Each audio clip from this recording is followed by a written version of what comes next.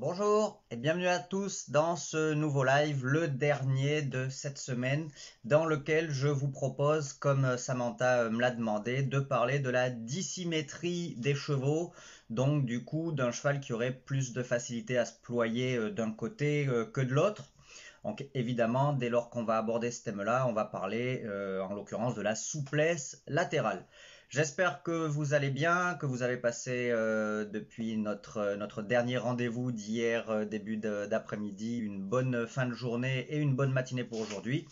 J'espère vous retrouver en pleine forme, prêt pour euh, ce live assez dense hein, où on aura pas mal de choses à, à dire. et comment dire, bah, en tout cas moi, toujours, toujours là, toujours content de vous, de vous retrouver, je l'espère nombreux pour parler de ce sujet sur la dissymétrie des chevaux. Salut Léa, j'espère que tu vas bien. Euh, on va attendre que vous soyez un petit peu plus, euh, un petit peu plus nombreux pour, euh, pour commencer. Et puis ensuite, on va, pouvoir attaquer. faudra pas que je traîne de trop puisque j'ai aujourd'hui encore un, coaching par téléphone. Donc euh, du coup, voilà, faut pas que, je me mette trop en retard puisque après il y a toutes mes activités euh, paternelles. Là, il y a mes activités euh, professionnelles et mes activités paternelles. Donc voilà. Salut Cédric. Bah, écoutez, j'espère que Samantha qui m'a sollicité pour ce sujet-là sera là. Logiquement, on doit programmer pour la semaine prochaine de parler des suites pour euh, la reprise du travail de vos chevaux du déconfinement, enfin la suite, euh, oui, lors du déconfinement de la reprise du travail de vos chevaux. Euh, et puis si vous avez d'autres, si vous avez d'autres sujets que vous aimeriez aborder, n'hésitez pas à, à me le faire savoir et du coup on le programmera dans la semaine. Salut Maël, salut Tess. Donc, euh, on va attendre que vous soyez un petit peu plus nombreux quand même. N'hésitez pas à me dire ce que vous faites vous euh, chez vous quand vous êtes un petit peu coincé à la maison pour, euh, pour passer le temps. Nous, on a de la chance à la maison. On a salut Stéphanie. On a un, grand jardin et donc du coup forcément pour les loulous les petites cages de football. on a le trampoline. Bonjour Muriel. Euh, hier, on a installé, après, mon, coaching, là, on a, installé la piscine. Parce qu'on a une chance, à côté de ça, on a une chance phénoménale depuis ce début de confinement, c'est que nous, on n'a pas eu euh, un jour euh, maussade en termes de météo depuis, le début. Donc les loulous, ils peuvent, ils peuvent aller, aller jouer dehors tous les jours. Donc ça, c'est vraiment top. Pour nous, aux écuries, c'est un peu plus galère parce que bah, du coup, euh, les sols sont ultra, ultra euh, secs. Ça manque d'eau en Normandie, mais euh, en tout cas, pour, voilà, pour les enfants, c'est quand, même, quand même entre guillemets que, du, que du bonheur. Salut Aurore, salut Stéphanie, on se retrouve tout à l'heure, hein, comme, comme convenu, dès la fin. Bah, tu me laisses deux minutes et puis, et puis tu m'appelles. Bonjour Nat. Salut Aurore, qu'est-ce que tu nous disais Aurore qu'il faisait beau dans le sud, ça y est, j'arrive pas à remonter le truc. Ah oui, enfin le soleil dans le sud-ouest. Ah bah du coup nous je te jure on prie presque pour qu'il pleuve, ça serait top qu'il pleuve un petit peu la nuit, euh, pour, les, pour les parcs notamment, et, euh, et pour les carrières. Allez, je vous propose donc qu'on attaque. A priori, Samantha est pas encore là et j'espère qu'elle euh, va pouvoir nous rejoindre ou en tout cas, elle regardera peut-être peut-être en replay ce, ce live. Bonjour Morgane. Donc, aujourd'hui, on va parler de la dissymétrie des chevaux. Donc, encore une fois, le cheval qui aurait euh, tendance à être plus souple d'un côté et qui aurait plus de mal à, se ployer de l'autre. Donc dès lors qu'on parle de dissymétrie, forcément on va parler de souplesse latérale. Et moi, dès que je parle de souplesse, je parle également de décontraction ou de euh, crispation. Salut Stéphanie, bonjour Alice, heureuse d'avoir découvert cette page plein de savoir. Oh là, mille merci euh, Alice, ça me fait très plaisir. Moi, je mets une, euh, une partie, alors Cédric, moi je mets en, application une partie des lives sur mes chevaux car j'ai la chance d'avoir ce qu'il faut à la maison. Ah bah merci Cédric, c'est sympa. Si jamais tu as l'occasion de te filmer sur un sujet qu'on a abordé en, ayant euh, mis en place un petit conseil que j'ai donné et, que ça a porté euh, ses fruits, bah n'hésite pas à me l'envoyer. Si je peux l'utiliser comme euh, sur la page, ça sera avec, avec, avec, avec plaisir. Salut Delph, vite fait, t'es au boulot euh, Bah ouais, tu regardes en différé, bah avec, euh, avec plaisir euh, Delphine. donc, comme je vous le disais, dès lors qu'on parle de dissymétrie, on va parler de souplesse ou de manque de souplesse. Et moi, dès que je parle de souplesse, je ne peux faire autrement que d'y inclure cette notion de décontraction, puisque pour moi, euh, un cheval ne peut pas être, euh, enfin, on ne peut pas faire, on ne peut pas euh, faire une distanciation. Ça, c'est le mot un peu à la mode. Vous avez vu le nombre de mots qu'on a appris en ce moment, n'empêche? On a appris geste barrière. C'est un truc, j'avais jamais dit ça de ma vie une fois avant, un geste barrière. Et distanciation sociale. Donc là, en termes de distanciation, distanciation de notion, pour moi, on ne peut pas euh, ne pas mettre ensemble la décontraction et la souplesse, la souplesse et la décontraction. Bonjour Marina. Donc, si vous voulez, le cheval qui aurait un souci de dissymétrie, c'est un petit peu comme nous finalement. On est tous soit gaucher, soit droitier. Et donc, on a tous des facilités pour faire des choses d'un certain côté et un petit peu plus de mal plus ou moins marqué en fonction de, notre propre souplesse et de, notre entraînement quotidien à essayer de réduire cette différence entre notre gauche et notre droite. Mais la plupart d'entre nous sont plus à l'aise pour certains gestes d'un côté et beaucoup moins de l'autre. Pour les chevaux, c'est euh, vraiment le cas parce que en plus de ça, leur souplesse latérale euh, à eux est bien plus euh, importante entre guillemets que, nous, bien plus visible si vous voulez. Et donc la différence entre leur souplesse latérale à gauche et leur souplesse latérale à droite, euh, peu importe de savoir lequel des deux côtés va être le plus souple, est assez plus ou moins marquée entre, entre chaque individu. Alors la première, la première explication qu'on nous avait donnée en, relation à ça, c'était que c'était dû à l'incurvation du corps du poulain dans le ventre de sa mère, qui faisait que voilà, si il était pendant toute la gestation ployé d'un côté, il aurait une fois, euh, une fois né plus de facilité à se ployer de ce côté-là que de l'autre. Alors, a priori, j'avais lu une, euh, une, étude qui était hyper bien faite d'un d'un chercheur, euh, chercheur anglais euh, qui disait qu'a priori pour lui en tout cas dans ses études c'était absolument pas lié à ça. Et donc il n'y avait pas ce rapport de cause à effet entre voilà l'incurvation du poulain dans le ventre dans le ventre de sa mère et euh, comment dire et de, sa, facilité ensuite euh, de ce côté-là ou pas, mais que c'était plus lié à euh, une certaine, un petit peu comme nous si vous voulez, un certain développement plutôt dans notre cerveau de gauche-droite qui faisait qu'ensuite ben, on était plutôt gaucher ou plutôt droitier. Et donc a priori c'était un peu plus comme nous finalement que juste le fait de l'orientation dans le, le ventre, de la mer. Bon, mis à part euh, ça, de toute manière, comme je le dis bien souvent sur beaucoup beaucoup de sujets comme, comme, euh, demande, de, de, questionnement que les cavaliers me demandent, à la limite, savoir le pourquoi est-ce qu'il est comme ça, si c'est pas à cause d'une gêne physique, si c'est pas à cause d'une douleur, euh, c'est pas forcément en sachant pourquoi est-ce qu'il est comme ça qu'on va essayer de, l'améliorer. La difficulté va être de trouver comment les améliorer pour essayer de réduire cette, euh, cette dissymétrie parce que évidemment que nous dans notre pratique de l'équitation quelle que soit notre discipline on a besoin d'un cheval globalement le plus symétrique possible donc déjà ce qui ce qu'on m'avait expliqué aussi une fois quand j'étais à la garde on avait un, instructeur qui était euh, euh, enfin moi je dis une vraie star de la théorie. Euh, il était vraiment bourré de connaissances théoriques, était un peu une bible, une bible sur sur pattes. Et du coup, il nous avait expliqué que finalement les chevaux qui étaient, prenons un exemple, les chevaux qui étaient plus souples à gauche avaient non pas une facilité à raccourcir leur côté gauche, mais une facilité à étirer leur côté droit. Et à l'inverse, les chevaux qui étaient plus souples à gauche, ben, dès lors qu'on les pas qu'ils avaient du mal à, entre guillemets, raccourcir leur côté droit, mais juste qu'ils avaient du mal à étirer leur côté gauche.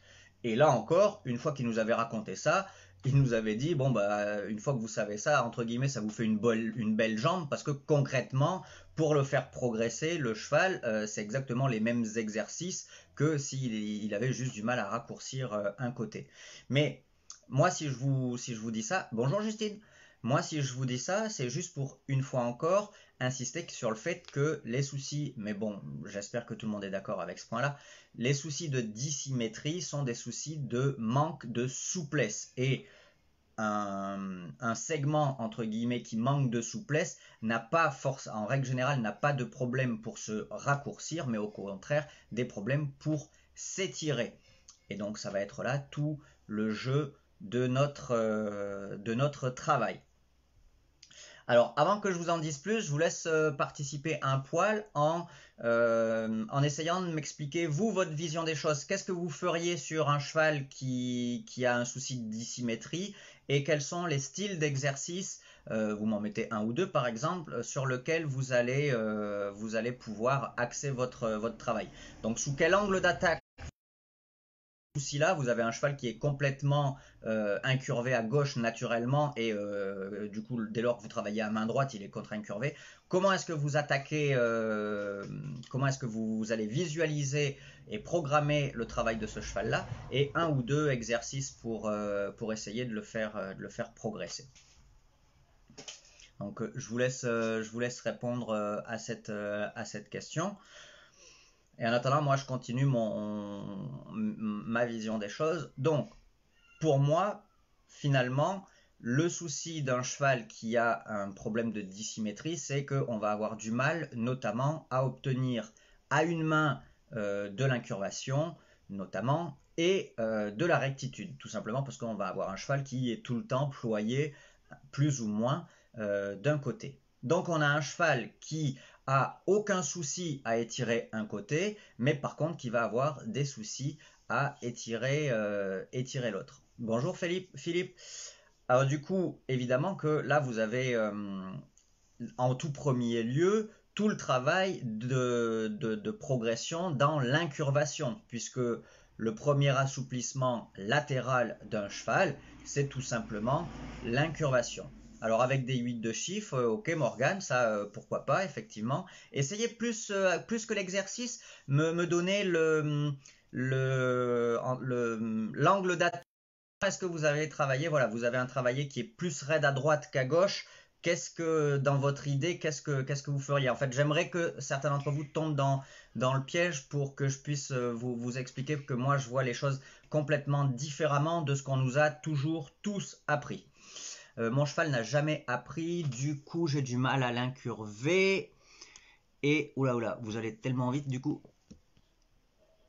Et j'ai pas trop d'exercice, et eh ben écoute Justine, a priori on va essayer de t'aider. Du travail à pied pour ne pas influencer l'équilibre du cavalier. Alors du travail à pied, Eloise, je te dirais oui, pour pas influencer l'équilibre du cavalier, je te dirais plutôt pour faciliter les choses à ton cheval sans le poids du cavalier.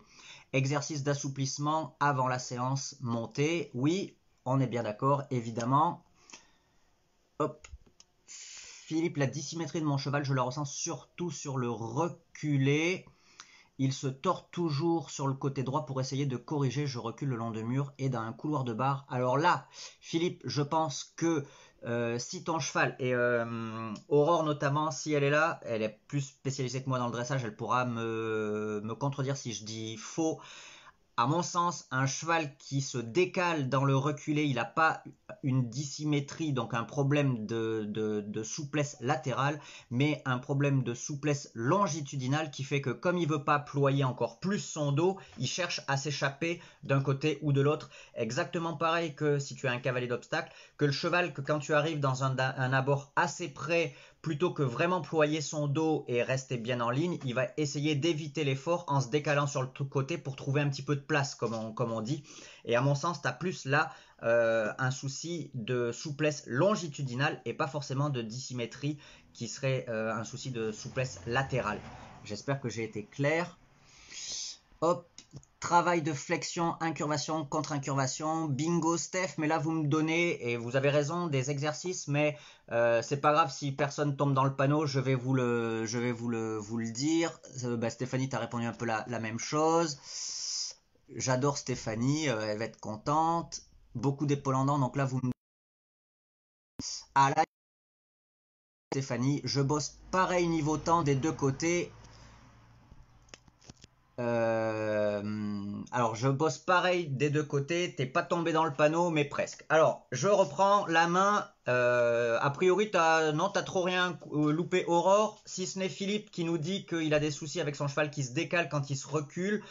Et du coup, il met ça sous le sous l'histoire de la dissymétrie. Perso, je pense que un cheval qui se décale dans le reculé, c'est plus un cheval qui qui par manque de souplesse longitudinale cherche à fuir un petit peu l'exercice qu'un souci de dissymétrie et donc de souplesse latérale. Corrige-moi si j'ai dit une ânerie. Donc, euh, ah, Morgan, et puis après j'attaque, je change d'incurvation au milieu, puis oui, bah oui, oui, les, les 8 de chiffres, les 8 de chiffres, on a, ouais, ouais, ouais, c'est le but. Alors, voilà, la, personne est tombée dans le panneau, mais il faut être honnête, 99% en tout cas des gens que je rencontre, quand je leur dis, voilà, ton cheval il est plus raide à droite que à gauche, comment tu vas le travailler 99% me disent, ben, je vais le travailler plus à droite qu'à gauche. Je vais le travailler plus longtemps à droite qu'à gauche, je vais lui en demander plus à droite qu'à gauche. Et donc là, je dis, vous tombez toujours dans le panneau. Pourquoi? Je vous explique très simplement. Votre cheval. Ah, merci euh, Aurore. Ouais, je t'ai vu ce que tu m'as dit. Euh, Viveka, mon coach me dit de travailler en pli contraire. Carrément, carrément le pli contraire, j'adore. Je vous explique ça juste après. Pourquoi 99% des gens qui vont travailler plus un cheval euh, du côté où il est raide se trompent Tout simplement parce qu'ils occultent que sans décontraction, on ne gagne que chi, pot de balle, walou en souplesse. On ne gagne pas en souplesse si on est dans la crispation, si on est dans, la, euh, dans le manque de décontraction. Et si vous travaillez plus longtemps, si vous travaillez longtemps, si vous travaillez plus, euh, plus intensément, un côté qui a déjà du mal à être souple et donc qui a déjà du mal à se décontracter, la seule chose que vous allez réussir à faire progresser, c'est la crispation et c'est le cheval qui va se blinder pour ne pas avoir mal. Encore une fois, on prend mon exemple d'un cavalier souple comme moi à qui on apprend à faire le, grand écart. Donc là, évidemment, on ne parle pas de souplesse latérale, mais imaginez que votre cheval soit raide, la recherche de donc soit raide à droite, par exemple, la recherche de le faire progresser à droite serait de l'assouplir sur son côté droit, au même titre que moi de m'assouplir pour que je puisse faire le grand écart. Donc les notions se recroisent. Vous avez deux cas de figure. Le cas de figure du coach qui dit, ben voilà, pour que tu apprennes à faire le grand écart, il faut que tu y ailles, il faut que tu y ailles, il faut que tu y ailles. Donc au moment où moi je commence à avoir mal et que je me crispe pour pas descendre plus de peur de casser, qui va m'appuyer sur les épaules.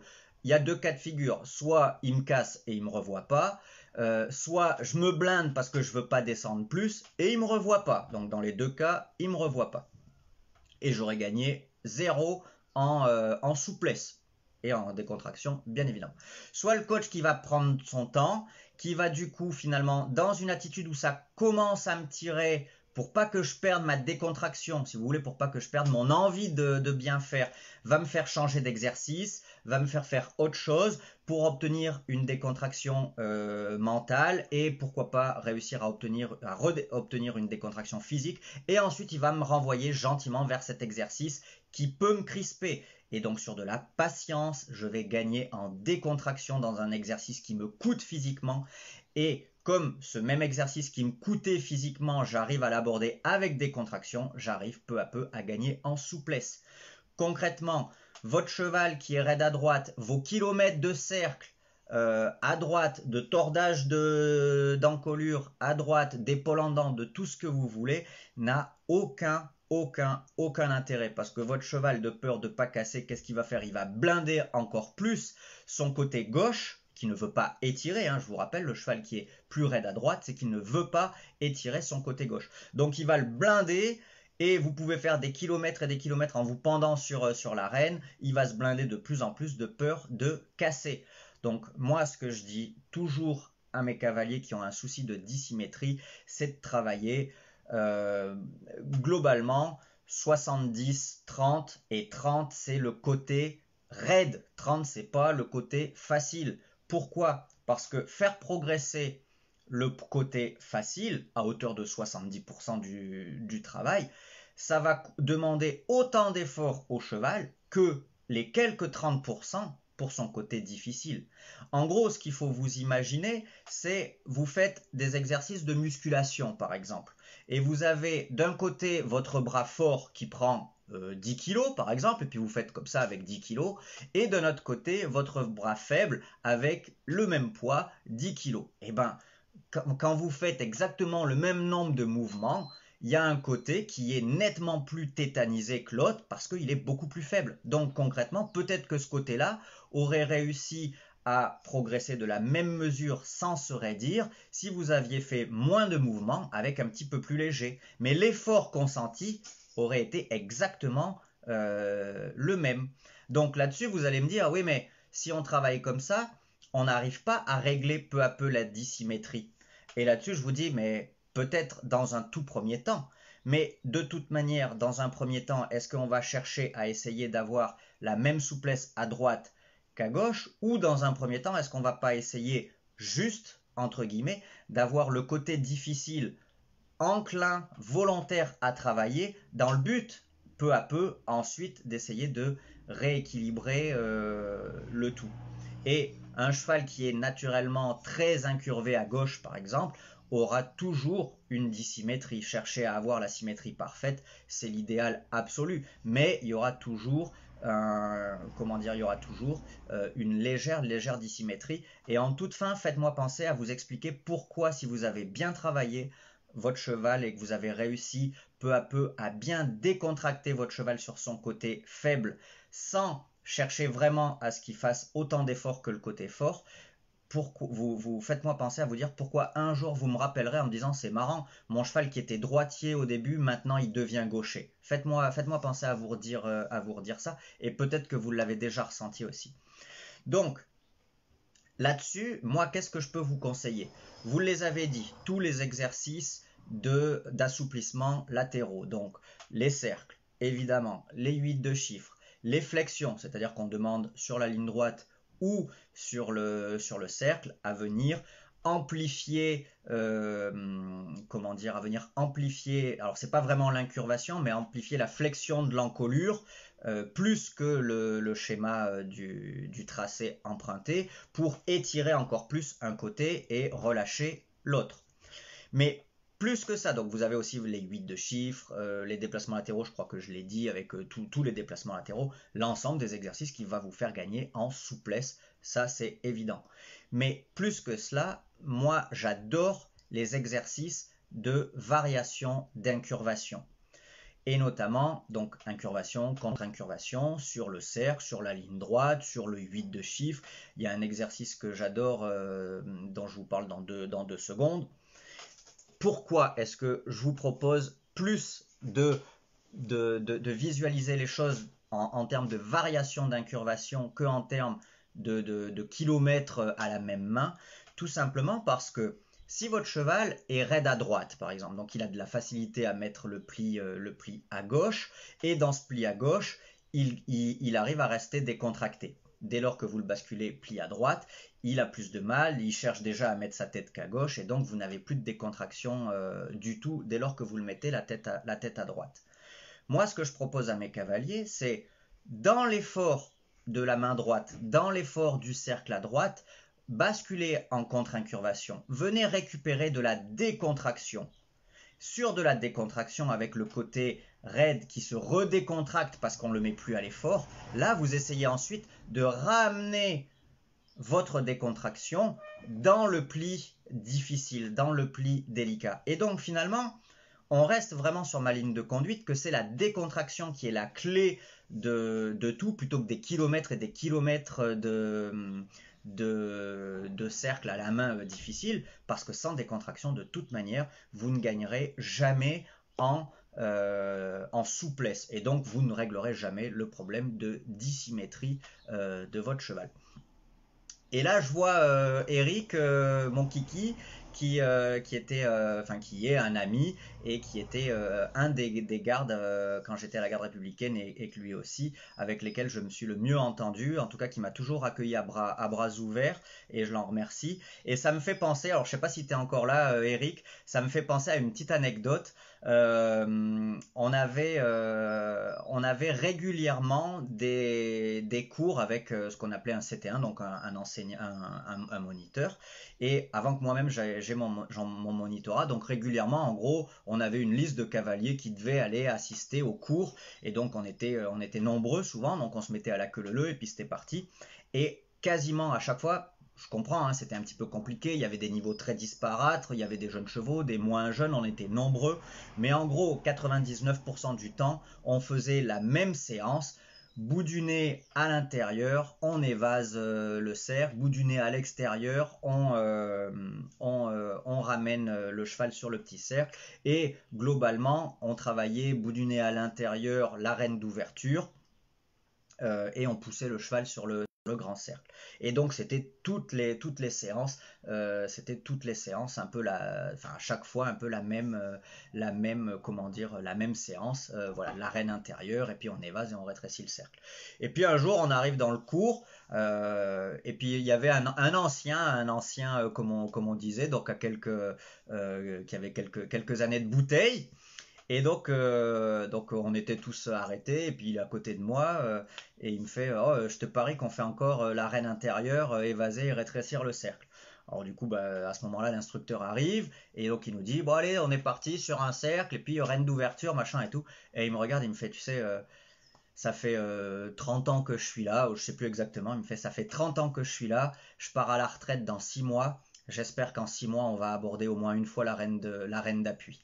Et ça m'avait fait marrer parce que voilà, c'était la petite, la petite anecdote. Mais tout ça pour vous dire, attention, que cet exercice-là de bout du nez à l'intérieur, j'évase le cercle, bout du nez à l'extérieur, euh, je rétrécis le cercle, est un très bon exercice aussi pour, euh, pour appréhender le cheval qui a une, une dissymétrie.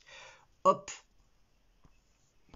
Alors, Donc là je reviens un peu sur ce que vous m'avez dit. Cédric, oui, je fais pareil pour pas figer les muscles, c'est clair. Euh, Justine, est-ce que c'est bien de commencer à détendre au trot avec les rênes longs pour qu'ils se détendent tout seuls? Alors, Justine, là je te répondrai, c'est bien de détendre les chevaux dans une attitude ronde et basse. C'est pas bien de, détendre les chevaux avec les rênes longues s'ils si se baladent le nez au vent. Par contre, si pour qu'il soit le plus bas possible et le plus rond possible, tu peux te permettre d'avoir les rênes longues, c'est parfait. Mais juste les rênes longues et le cheval qui se promène le nez au vent, c'est pas de la détente, là c'est de la douleur pour le dos et l'ensemble de la ligne euh, du dessus. Aurore, pour travailler la symétrie dans la poussée, une série de barres euh, au sol ou même trotter un cheval sur une barre à 40 cm, c'est top pour que le cheval fonctionne symétriquement D'accord, ok, bah écoute, on, note donc une série de barres au sol par exemple euh, pour, euh, pour que le cheval pousse bien de manière symétrique dans ses, deux postérieurs. Euh, on note, on note. Moi, l'exercice pour les chevaux qui ont du mal à se ployer d'un côté et qui sont rigides de l'autre, que j'adore, c'est vraiment, je t'en prie Justine, c'est vraiment un exercice que j'adore. c'est un exercice sur euh, vous vous mettez sur un 8 de chiffre. Alors là, profitez-en parce que, en règle générale, cet exercice-là, je le réserve uniquement pour mes formations et, j'essaie de pas trop en parler parce que, bah, à un moment donné, il faut aussi que dans mes formations, il y ait, des choses entre guillemets inédites. Donc profitez-en. J'adore cet exercice-là. Euh, vous vous mettez sur un 8 de chiffre, donc euh, voilà, hein, hop, un 8 de chiffre, et puis vous faites des séries de 8 de chiffres, donc vous, on garde bien. Salut Samantha, ah, sympa. Donc vous restez sur votre 8 de chiffre et puis du coup vous faites euh, bout du nez à l'intérieur, bout du nez à l'intérieur. Donc bout du nez à l'intérieur lorsque vous êtes à main droite, bout du nez à droite, et bout du nez à gauche lorsque vous êtes à main gauche. Vous faites ça deux fois par exemple. Puis vous allez changer et vous allez faire bout du nez à l'extérieur. Donc bout du nez à droite quand vous tournez à gauche, bout du nez à gauche quand vous tournez à droite. Puis vous allez faire bout du nez que à droite. Donc bout du nez à droite quand vous tournez à gauche et bout du nez à droite quand vous tournez à droite. Puis vous allez faire que bout du nez à gauche et ainsi de suite. Et donc du coup là, vous ne faites que alterner et les mains et les, variations d'encolure et les, les variations d'incurvation. Et donc là, vous faites vraiment et vous essayez vraiment de piloter votre cheval comme, et je reprends toujours cet exemple-là, comme, et moi ça me fait rêver quand je vais au ski parce que je suis un piètre skieur, quand je suis euh, sur le télésiège, euh, sur le téléski, et euh, enfin oui bon sur les œufs vous m'avez compris et que je vois des très très bons skieurs qui descendent et vous savez c'est vraiment très souple ce qu'ils font ça paraît très fluide. Et ben vous essayez vraiment de piloter votre cheval comme ça peu importe la main à laquelle vous vous tournez en lui bougeant vraiment l'encolure plus vous leur bougez latéralement l'encolure, plus derrière le dos bouge également comme ça. Et un petit peu le côté comme, comme un serpent qui se déplace, qui fait que votre cheval va gagner en décontraction en, en allant récupérer la décontraction sur le côté facile et en l'emmenant dans le côté difficile. Du coup, votre cheval va peu à peu rééquilibrer sa décontraction donc du coup, elle sera un peu égale des deux côtés. Et donc, vous allez pouvoir améliorer euh, plus encore la souplesse du côté facile, mais peu à peu décoincer, euh, décrisper euh, et donc gagner en souplesse aussi sur le côté difficile. Il faut imaginer à mon sens le côté difficile un petit peu comme quelque chose qui serait rouillé. Vous imaginez une chaîne de vélo entretenue, c'est très souple, hein, c'est très mobile si vous voulez. Vous imaginez la même chaîne de, vélo très rouillée, et eh ben, du coup vous allez devoir forcer pour la ployer, là où celle entretenue, vous en faites ce que vous voulez. Et eh ben votre job, c'est pas de ployer comme un âne et de casser la chaîne rouillée, mais de venir huiler la chaîne rouillée pour que bah, presque un peu de manière, euh, de manière naturelle, si vous voulez dire, si je veux dire, elle, regagne en décontraction, on, fait sauter entre guillemets la crispation pour ensuite peu à peu gagner, euh, gagner en souplesse. Donc voilà, donc j'espère que ça va vous, permettre euh, d'avancer. J'espère que ça va vous permettre de voir les choses sous un autre angle et surtout pour votre loulou, j'espère que si vous vous mettez en tête qu'il est raide à droite, ça va vous permettre d'éviter de lui infliger euh, la corvée de euh, comment dire 75% du temps de travail sur son côté dur, sur son côté difficile et finalement 25% euh, euh, sur son côté facile parce que du coup le côté facile vous allez moins l'entretenir et donc du coup peu à peu il va se raidir aussi et euh, le côté difficile il va tellement se blinder que vous n'allez rien gagner du tout. Et je vous avais promis que je terminerai en vous expliquant pourquoi un jour vous m'enverrez un message en me disant punaise je suis épaté aujourd'hui j'ai tellement bien bossé mon cheval que j'ai la, sensation que son côté euh, le moins bien devient son côté le mieux, la, la, réponse à ça est toute simple et si vous essayez de vous projeter, vous allez vous dire bah ouais en fait c'est logique.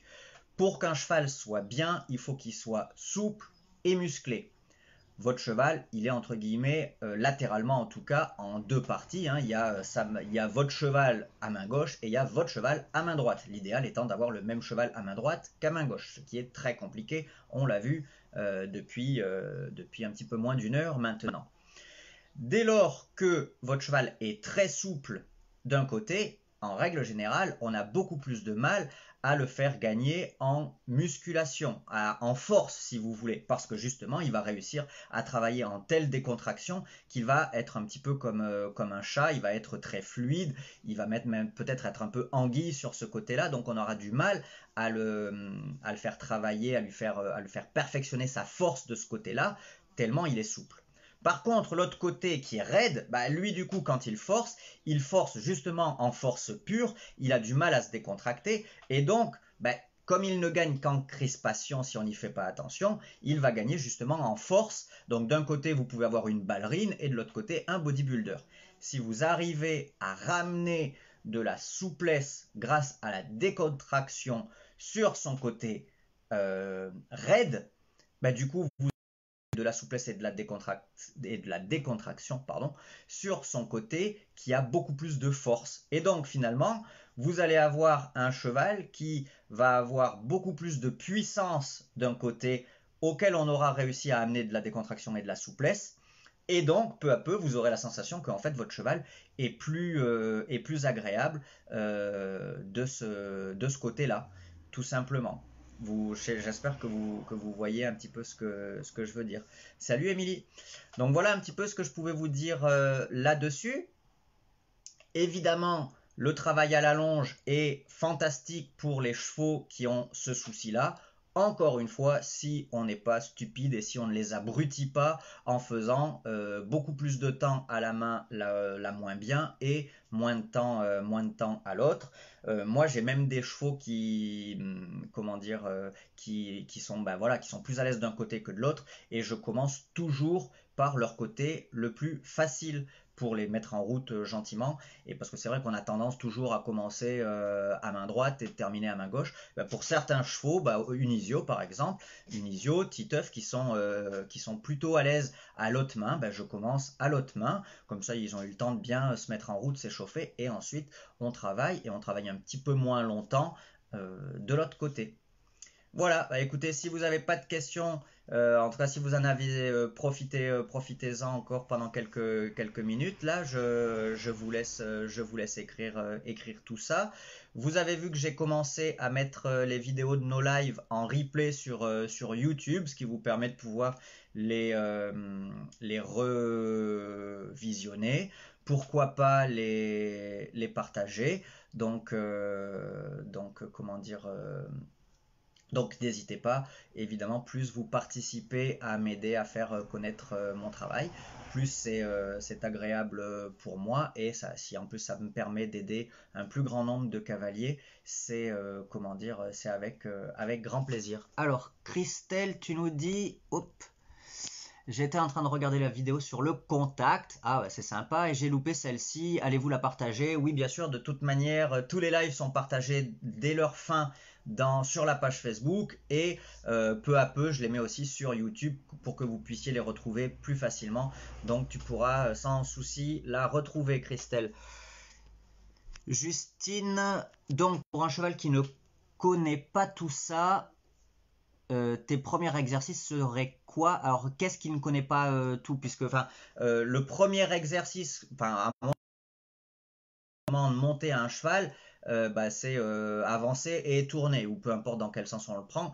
Donc, euh, bah, du coup, si tu as vraiment un très très jeune cheval, déjà l'incurvation et travailler l'incurvation, bah, c'est déjà un exercice d'assouplissement latéral. C'est le premier, le premier assouplissement latéral, c'est l'incurvation.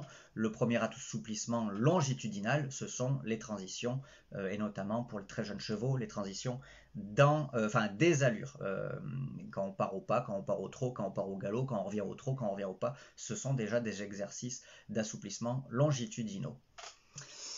Hop, Caroline, moi aussi, je commence avec le côté facile, car le travail sur un cercle, et parfois il m'arrive à se détendre et baisser l'encolure. Euh, bah oui, oui, c'est parfait, c'est parfait. De toute manière, euh, il faut chercher à les travailler rond et bas. C'est euh, la à mon sens, la priorité absolue pour qu'ils apprennent à protéger leur corps et notamment à protéger leur dos, protéger leur dos du poids du cavalier pour, utiliser leur, ligne du dessus dans leur ensemble. Je programme très bientôt une formation complète sur le fait de travailler dans l'harmonie musculaire bon sens, mais il faut encore que je finalise, euh, celle sur euh, comment mettre en place son cheval et améliorer le contact. J'ai presque fini, d'ailleurs du coup je fais un petit appel à Aurore. Aurore, j'ai presque fini. Il va me falloir euh, bientôt travailler sur, sur les illustrations visuelles vidéo de cavaliers de dressage. Aurore, euh, donc, euh, donc voilà, bisous quand même Aurore. Au lieu de faire des défis avec Alex, euh, reconcentre un petit peu toi sur, sur du travail basique et, et, un poil moins fun, pense à moi. Alors j'ai eu cette sensation, mais je ne savais pas pourquoi. Merci, je pensais que c'était moi qui étais plus crispé à cette main. Donc Cédric, tu dois parler du fait que ton cheval te semble un jour mieux à droite qu'il ne l'a jamais été, c'est parce que tu as vraiment, euh, vraiment, entre guillemets, euh, comment dire, réussi à améliorer cette dissymétrie. Je vais même, allez, je prends encore deux secondes, je vais même aller encore plus loin, tant pis. tu as en plus de ça, Cédric, un souci d'équilibre latéral. Dès lors que le cheval a de la facilité à se ployer à gauche, par exemple, sur le cercle, tu peux avoir un cheval qui tombe sur sa, sur sa, sur son épaule gauche. Ton cheval qui est raide à droite, euh, quand tu le mets quand tu à main droite, puisqu'il a du mal à se, à se, à ployer euh, à droite, quand tu fais toi euh, l'effort de le ployer à droite, il est obligé de se tenir un petit peu, sinon il est vraiment vraiment trop en difficulté. Donc tu as aussi ce côté-là du cheval qui, comme il a du mal à se ployer, il va se sentir obligé de se tenir plus. Et donc, en réalité, une fois que tu as réussi sur ce côté euh, euh, crispé, si tu veux, à amener de la souplesse et de la décontraction, tu as vraiment un cheval qui se tient de lui-même parce qu'il a toujours euh, avant d'être souple, il a appris à bouger comme ça. Oui, Louane, j'ai un compte Instagram, mais je suis pas un grand, je, suis, pas, enfin voilà, j'utilise pas énormément Instagram. Je suis un petit peu plus entre guillemets spécialisé sur sur Facebook, donc Instagram, j'y vais pas souvent et je publie peut-être pas assez, puisqu'apparemment il y a beaucoup de jeunes qui sont plus Insta que, Facebook, mais mais voilà, moi je suis un peu plus Facebook. Euh, merci de tes conseils, je t'en prie Justine. Salut Louane. Donc voilà, ben, écoutez, merci beaucoup encore une fois de votre euh, participation. Samantha qui m'avait posé cette question-là, j'espère que ça va t'aider. On se retrouve la semaine prochaine. Je vous reprogramme pour euh, ce week-end le, bah, le, programme. Je vous programme le programme, bien, bien trouvé. si vous avez des envies particulières dont on n'a pas encore parlé, donc je sais qu'on doit déjà parler du confinement, enfin du, de l'après-confinement, pardon, N'hésitez pas à m'en faire part et c'est avec grand plaisir que je cale ce dont vous avez envie de parler. À la semaine prochaine. Salut